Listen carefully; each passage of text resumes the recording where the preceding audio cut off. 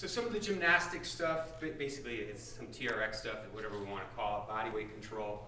You know, whether we're using the bar uh, up high or the TRX, same concept. Uh, I didn't cover this in the pull. There's a pull, a, a horizontal pull would be this. A vertical pull would be a pull-up, like this. And it's the same concept, external rotation, whether hands are facing this way or this way, external rotation.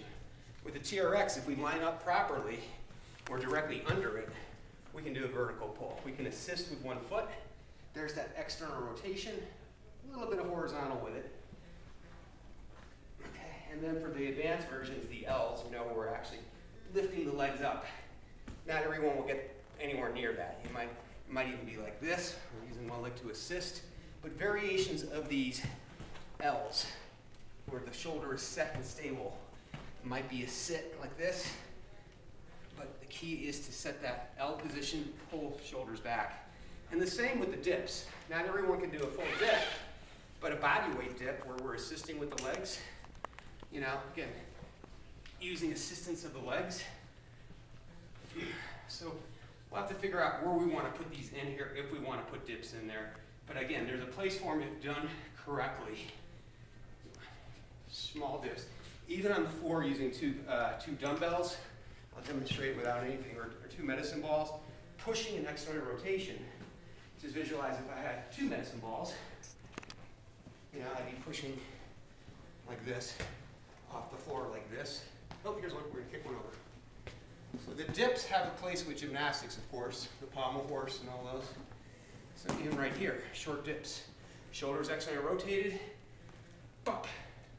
And that can lead into bump bump, and of course the advanced versions for you know some of the stronger guys, but and women. But just even this, gymnastic ones. And of course, push-ups falls into gymnastics as well. Um, falls into it. But I think those are the basics that we'll teach. We might teach a couple pikes. We don't want to get into sit-ups too much, but obviously we're going to use the crunch once in a while. Rounding up, stabilizing. We don't want to do too much of this because the margin of safety goes way down. You can see I'm rounded. But we might occasionally use pikes where, you know, some of you might need neck support, but a pike where the legs are up, the chest is accentuated. So we might use some pikes down the road. And we'll decide whether we want to put this in the fundamental class or everyone can experience a pike. Something that we can talk about later. Um, any other uh, types of calisthenic moves you think of. Side planks, maybe we should cover the basics of a side plank.